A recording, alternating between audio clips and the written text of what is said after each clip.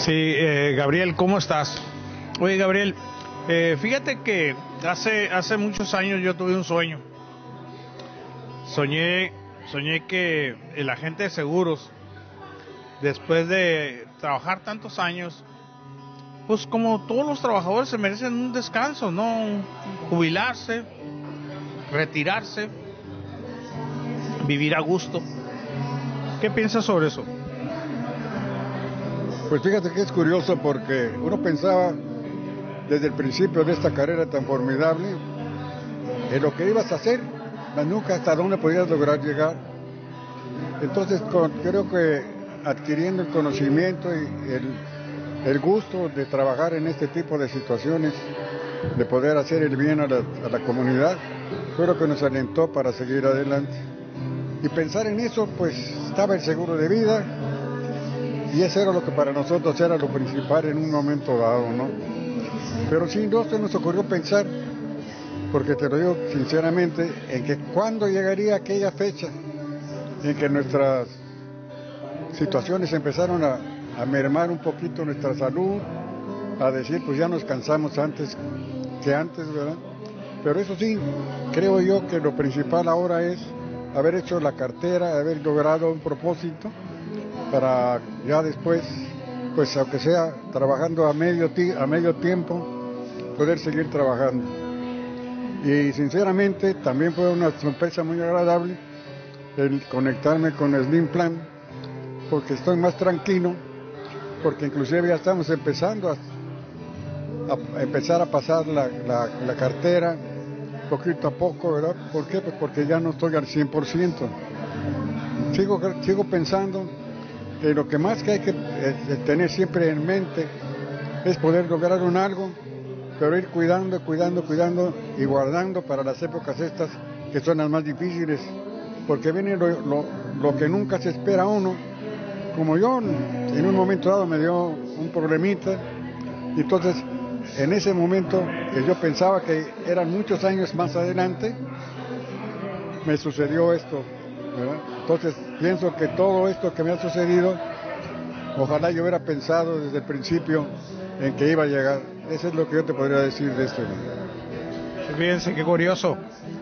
Eh, eh, eh a Gabriel Serrano Torretero porque es una persona que tiene muchos años en seguros, cultivando la cultura del seguro. Ahora sí que con los zapatos dándole al pavimento porque no sabía nada de seguros. En aquel tiempo era un tabú los seguros, ¿no? Se veía algo como algo extraño. Nosotros cotizábamos, nosotros, ¿te acuerdas?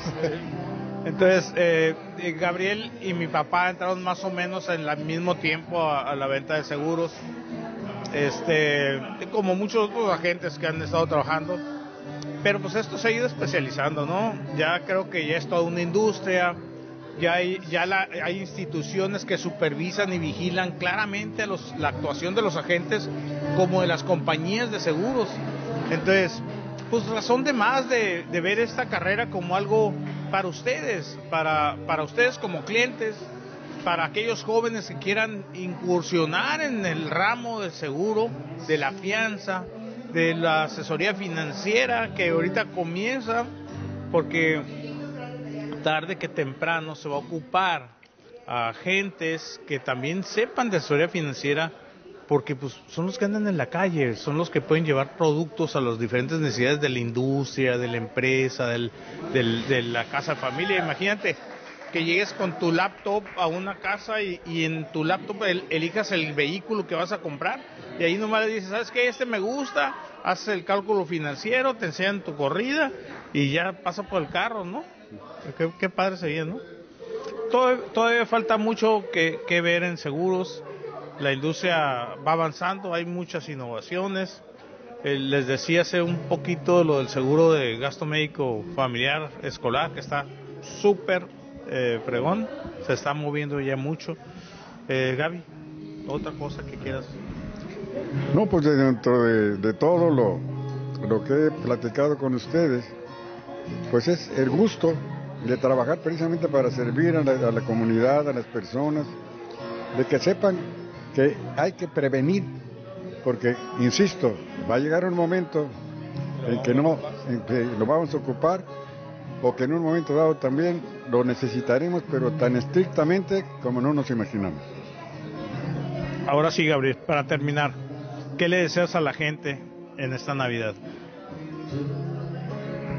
Antes que nada, el que piensen que las situaciones siempre serán un poquito diferentes, pero más que nada estar unidos en familia, porque la familia es la base, la base de todo. Sin ella no hay, ese es el problema que estamos viviendo actualmente. Vemos que las familias están distorsionadas, cada quien va por su lado, cada quien ve y además se trata de tener, de tener, no de crear ni de poseer, sino tener, tener, tener. Eso es lo que todo el mundo piensa. Y sí, hay que tener, pero también hay que saber vivir correctamente. ¿Con quién? Con la familia, que ese es el pilar de todo. Señores, pues ya lo ven. Buenos deseos para, para la familia este 2022, para el 2023. Señores, que seguimos en breve. Gracias.